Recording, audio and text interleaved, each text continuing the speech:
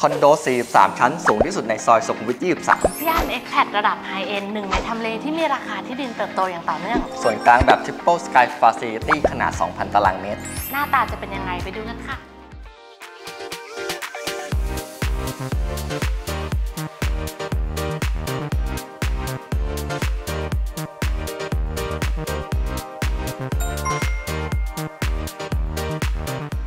สวัสดีค่ะสวัสดีครับ พบกับรายการเรียวรีวิวนะคะ คลิปนี้เนี่ยเราสองคนจะพามาดูคอนโดใจกลาง CBD ย่านอโศกนั่นเองพี่แป๊ะอืมซึ่งแอบกระซิบนิดนึงว่าเป็นโครงการใหม่ที่จะครับสร้างเสร็จปีหน้าก็คือ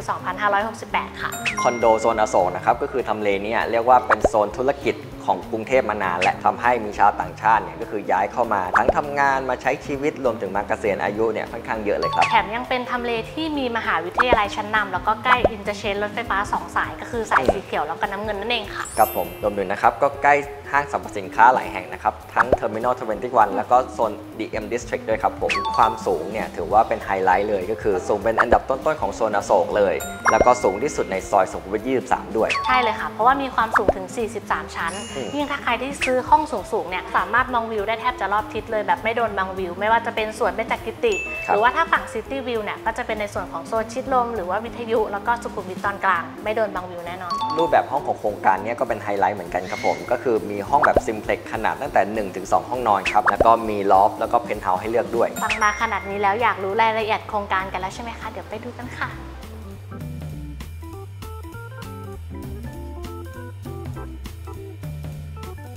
ำหรับที่ตั้งโครงการนะครับจะอยู่ในซอยสุขุมวิท 23 ส่วนรถไฟฟ้าเนี่ยจะห่างจากโครงการประมาณ 600-800 เมตร ก็จะถึง BTS อโศกและ MRT สุขุมวิทครับ และด้วยความที่ไม่ได้ติดถนนใหญ่นะคะ แต่ว่ามีข้อดีหลายอย่างเลย ไม่ว่าจะเป็นเรื่องความเป็นส่วนตัว แล้วก็ไม่จอแจเหมือนโครงการอื่นๆ นั่นเองค่ะ รวมถึงพื้นที่ในซอยย่อยนะคะ โซนสุขุมวิทเนี่ยจะมีทั้งร้านค้าร้านอาหาร Fine Dining เต็มไปหมดเลย ซึ่งเป็นเอกลักษณ์บนทำเลนี้ทำให้ติด top ทำเลเพื่อการอยู่อาศัยนั่นเองค่ะ นอกจากนี้นะครับซอยย่อยในโซนสุขุมวิทตอนกลางเนี่ยสามารถเชื่อมกันได้หมดเลยครับ การที่จะเดินทางไปพร้อมพงทองหล่อเอกมัยเนี่ยไม่จำเป็นต้องออกไปถนนสุขุมวิทเลยก็ได้สำหรับทำเลนี้นะคะ จะเป็นทำเลที่น่าอยู่เนี่ยเพราะว่ามี surrounding ในระดับ international มากมาย ทั้งศูนย์การค้า Terminal 21 M Quartier M Sphere แล้วก็ Emporium นั่นเอง ในส่วนของสวนสาธารณะนะคะ ก็จะมีสวนเบญจกิติ สวนเบญจศิริและศูนย์ประชุมแห่งชาติศิริกิตนั่นเองค่ะ รวมถึงนะครับในส่วนประชุมแห่งชาติเนี่ยเขาปรับปรุงใหม่ โดยร้านค้าร้านอาหารเนี่ยเยอะมากๆเลยครับ ปกติก็คือจะแวะเข้าไปกินอยู่บ่อย ๆ เลย รวมถึงนะครับแถวนี้เนี่ยมีโรงพยาบาลชั้นนำที่ได้รับการยอมรับระดับโลกอย่างโรงพยาบาลบำรุงราษฎร์โรงพยาบาลสมิติเวช โรงพยาบาลพระราม 9 และโรงพยาบาล MedPark ครับผม ในส่วนของสถาบันการศึกษาชั้นนำใกล้ๆโครงการนะคะ ก็จะมีมสว โรงเรียนสาธิตมหาวิทยาลัยศรีนครินทรวิโรฒประสานมิตร โรงเรียนวัฒนาวิทยาลัย และโรงเรียนนานาชาติอีกหลายแห่งเลยค่ะก็เรียกว่าสามารถพูดได้เต็มปากเลยนะครับ ว่าที่เนี่ยครบจริงๆ ไม่มีอะไรที่อโศกยังไม่มีแน่นอน สามารถใช้ชีวิตได้ทั้ง day life night life ครบจบในที่เดียวเลยครับ ก่อนที่เราจะไปดูห้องตัวอย่างนะครับ เรามาฟังภาพรวมโครงการกันก่อนเลยครับว่า fact โครงการเนี่ยเป็นยังไง ซึ่งโครงการนะคะจะถูกพัฒนาโดยบริษัท Risland นั่นเองครัที่บเป็น developer จากฮ่องกงนั่นเองค่ะพี่แป๊ะอืมเขามีการพัฒนาโครงการในหลาย ๆ ประเทศด้วยอ่าอ่าแต่ว่าในภายในประเทศไทยเองเนี่ยเขาจะมีการพัฒนาถึง 7 โครงการเลยพี่แป๊ะครับผมอืมและโครงการที่เรายืนอยู่ตรงนี้นะคะ ก็คือ Cloud สุขุมวิทอืม23 ที่ได้รับการออกแบบจากสถาปนิกชื่อดังอย่าง Tandem นั่นเองค่ะอืม พี่แป๊กรู้ไหมว่า Tandem เนี่ยมีชื่อเสียงในการออกแบบตึกสูงๆในกรุงเทพที่เราเห็นทั่วไปเลยนะ เอาจริงๆเรียกว่ารู้จักมานานมากอืมแล้ว แล้วก็คอนโดที่ผ่านหูผ่านตาผมมาบ่อยๆเนี่ย Tandem ออกแบบมาเยอะมากเลยครับ ใช่ แล้วก็เขาจะออกแบบภายใต้คอนเซปต์ของ Modern Oriental นั่นเองพี่แป๊กที่เห็นเรียบหรูอย่างเงี้ยแต่เขาอืมมีเอกลักษณ์มากนะอ่าน่าสนใจมากๆเลย ด้วยความสูงของโครงการนะครับก็คือ 43 ชั้น ตั้งอยู่บนที่ดินขนาด 1.3 ไร่ แต่ว่าจำนวนยูนิตเนี่ยไม่มากเลยครับผมประมาณ 372 ยูนิตเท่านั้นเอง มาพร้อมกับรูปแบบห้อง 5 ขนาดนะคะทุกคนได้แก่ one bedroom เริ่มที่ขนาด 29-30 ตารางเมตร one bedroom plus เริ่มต้นที่ขนาด 41-43 ตารางเมตร two bedroom เริ่มที่ขนาด 57-60 ตารางเมตร double space หรือว่าห้องลอฟเริ่มต้นที่ 47-95 ตารางเมตร และ penthouse เริ่มที่ขนาด 79-99 ตารางเมตรนั่นเองค่ะ ทีนี้มาดู type แรกของโครงการนะครับกับห้องขนาด 29.9 ตารางเมตร แบบ one bedroom ครับผม โดยเข้ามานะครับจะเจอกับส่วนของโฟเย่ก่อนเลยนะครับ บริเวณนี้เนี่ยสามารถ transition ตัวเองนะครับ ก็คือเวลาไปข้างนอกมาเนี่ย เราสามารถมาเก็บของบริเวณนี้ได้นะครับ เก็บรองเท้า เก็บเสื้อคลุม เวลาตากฝนมาหรือว่าจะวางร่มไว้ในนี้ก็ได้ครับผม บริเวณด้านข้างเนี่ยจะมีส่วนของประตูที่สามารถเข้าห้องน้ำได้ ตรงนี้ก็คือจะเข้าไปล้างมือล้างหน้าอะไรทำความสะอาดเล็ก ๆ น้อย ๆ ก่อนที่จะเข้ามาในส่วนพื้นที่ห้องครับผม เมื่อเดินมาอีกด้านหนึ่งเนี่ยจะเจอกับส่วนครัวครับ มีพื้นที่เซตตู้ต่างๆ ด้านบนนะครับ แล้วก็บริเวณเนี่ยเขา built-in เก็บตู้เย็นไว้ให้ด้วยทั้งตู้บนแล้วก็ตู้ล่างนะครับ ถัดเข้าไปด้านในก็จะเป็นส่วนของ living area นะครับ ที่สามารถวางโซฟา 2 ที่นั่งได้ รวมถึงมองดูทีวีก็ได้ระยะเนี่ยกำลังเหมาะสมเลยครับ ถัดมานะคะก็จะเป็นในส่วนของห้องนอนนั่นเองค่ะทุกคน ซึ่งสามารถวางเตียงได้ 5 ฟุต แล้วก็ห้องนอนเนี่ยจะมีพื้นที่แต่งตัวแล้วก็ติดกับห้องน้ำด้วย ซึ่งสามารถเข้าออกได้ 2 ทางค่ะทุกคนก็คือจากโซนทางเข้าแล้วก็ทางโซนห้องนอนนั่นเอง ซึ่งทำให้มีความ flexible ในการใช้งานมากๆค่ะ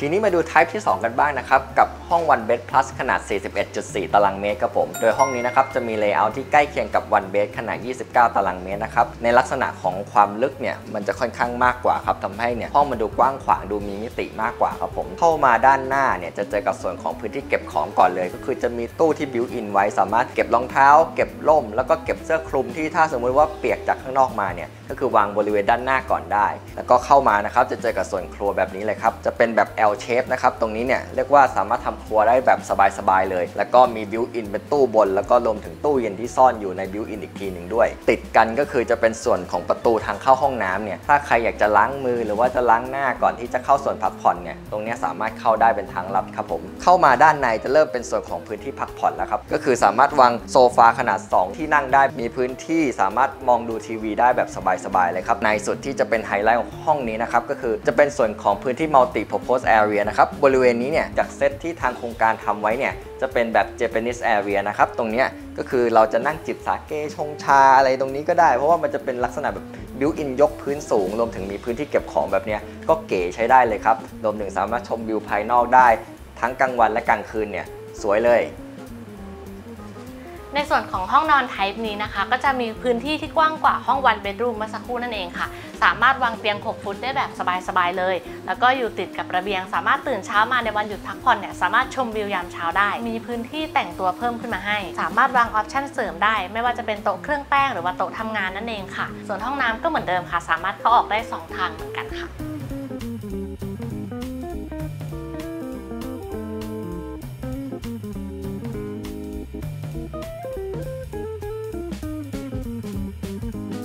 ทีนี้นะคะเดี๋ยวเรามาดูในส่วนของห้องที่ทางโครงการเนี่ยเคลมว่าขายดีที่สุดกันค่ะ ก็คือห้องดับเบิลสเปซนั่นเองค่ะ หรือว่าห้องลอฟขนาด 74.3 ตารางเมตร เข้ามาเนี่ยสามารถวางรองเท้าหมวกหรือว่าร่มก่อนออกไปข้างนอกได้ ในส่วนของห้องเนี้ยโอ้คิดว่าค่อนข้างเหมาะกับครอบครัวนะคะ เพราะว่าจะเป็นห้องลอฟที่มี 2 ห้องนอนนั่นเองทุกคน ในส่วนตรงนี้เดินเข้ามาจะเจอกับโซนทานอาหารแล้วก็โซนครัวนั่นเองค่ะ ซึ่งโซนครัวเนี่ยจะมีพื้นที่ที่กว้างกว่า 2 ห้องเมื่อสักครู่นั่นเองค่ะ ตรงนี้เลยจะเป็นโซน living area นั่นเองค่ะ จะมีความโปร่งโล่งนั่นเองค่ะทุกคน เพราะว่าจะมีดับเบิลวอลลุ่มที่สูงถึง 4.5 เมตร สามารถชมวิวเมืองได้แบบสบายๆเลย ทีนี้มาดูอีกด้านหนึ่งของชั้นเดียวกันนะครับ บริเวณนี้เนี่ยจะมีส่วนของห้องนอนชั้นล่างนะครับ ตรงนี้เหมาะสำหรับคุณลูกหรือว่าผู้สูงอายุเนี่ยก็คือใช้งานสะดวกครับ แล้วก็อีกฝั่งหนึงเนี่ยจะเป็นส่วนของห้องน้ำนะครับ ก็คืออันนี้สามารถใช้กับห้องนอนด้านล่าง แล้วก็ห้องนอนด้านบน ทีนี้เดี๋ยวเราไปดูฟังก์ชันด้านบนกันต่อเลยทีนี้มาดูชั้นบนกันบ้างนะครับผมชั้นนี้เนี่ยก็คือเรียกว่าเหมือนเป็นเพนท์เฮาส์เลยครับ ก็คือจะมีส่วนของห้องนอน master นะครับผม แล้วก็มี walk-in closet นะครับ อันนี้เรียกว่าส่วนตัวมากๆเลยครับ ก็คือใครที่นอนห้องนี้แล้วก็สามารถมาแต่งตัวอีกฝั่งหนึ่งได้ บริเวณเดียวกันนะครับ ก็จะมีส่วนที่สามารถวางโต๊ะเครื่องแป้ง หรือจะจัดเป็น working area ก็ได้ครับผม ตรงนี้ก็คือแล้วแต่ความต้องการเลยครับ อีกฝั่งหนึ่งเนี่ยสามารถจัดเป็น family area หรืออยากจะเป็น multi purpose ส่วนอื่น ยังไงก็ได้ครับ จัดเป็นโซนมินิบาร์ไปพร้อม ๆ กับดูหนังเนี่ย ก็คือเรียกว่าดีมากๆเลยครับ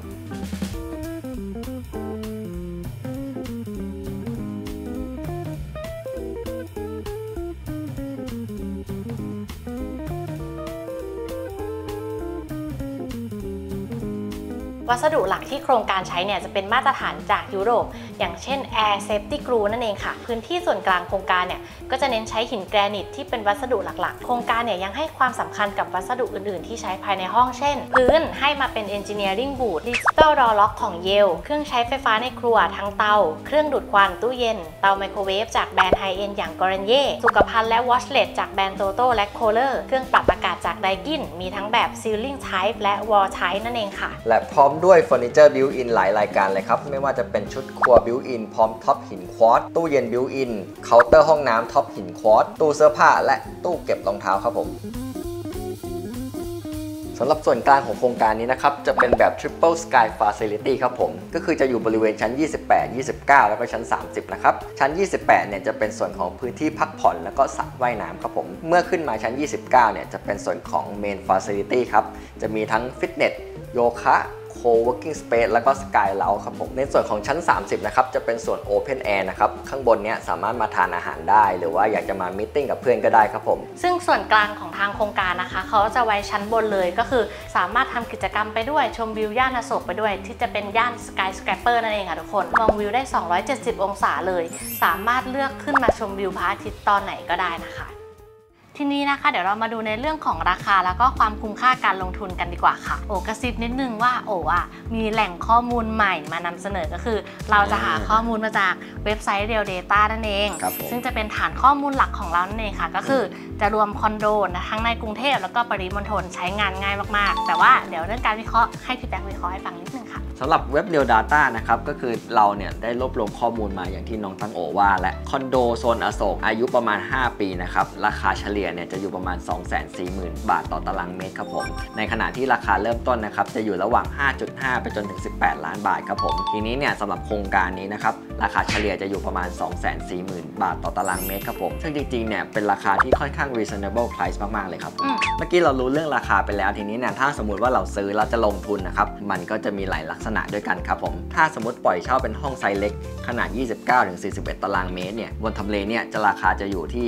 25,000 บาท จนถึงประมาณ 40,000 บาทต่อเดือนครับผม ในขณะที่อีกซีนารีโอหนึ่งก็คือถ้าเป็นกลุ่มลักษณะครอบครัว หรือครอบครัว expat ราคาค่าเช่าเนี่ยจะอยู่ประมาณ 50,000 ไปจนถึงเป็นแสนเลยด้วยต่อเดือนนะครับ ส่วนโอกาสในการที่จะปล่อยเช่านั้นสูงมากๆเลยเหมือนกันค่ะ เพราะว่าพื้นที่เนี้ยจะเป็นทำเลที่มีการหมุนเวียนเข้าออกตลอดเวลาของกลุ่ม expat กลุ่มนักศึกษาแล้วก็กลุ่ม retirement จากโซนยุโรปนั่นเองค่ะ ทั้งนี้ทั้งนั้นนะคะ ใครที่ดูโครงการแล้วเนี่ยเกิดชอบไม่ว่าจะซื้ออยู่เอง หรือว่าซื้อลงทุนเนี่ยโอ้คิดว่าค่อนข้างแนะนำค่ะ เพราะว่าทำเลดีแล้วก็ลงทุนดีแน่นอนสำหรับใครที่ยังไม่มั่นใจ อยากเข้ามาชมโครงการด้วยตัวเองนะคะ ที่สุขุมวิท 23 ตรงที่ตั้งโครงการเลยนั่นเองค่ะครับและหากใครที่ชื่นชอบคลิปนี้นะคะ สามารถเป็นกำลังใจให้โอกับพี่แป๊กด้วยการกด subscribe ไลค์แชร์ให้โอกับพี่แป๊กด้วยนะสำหรับวันนี้สวัสดีค่ะ สวัสดีครับ